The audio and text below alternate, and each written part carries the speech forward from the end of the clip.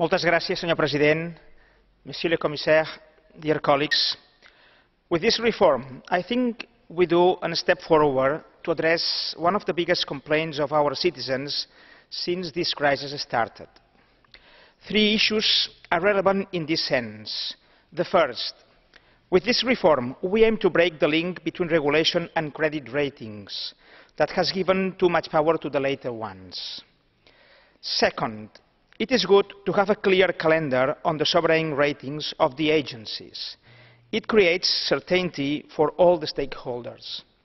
However, I am disappointed that the rating agencies are not yet required to spend time physically on the location rated.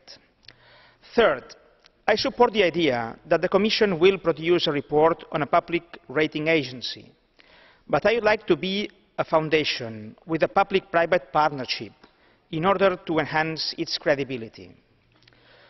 After three different approved legislations in the last few years, I hope that this new reform is going to be the lasting one. Thank you very much. Moltes gràcies, Aleix.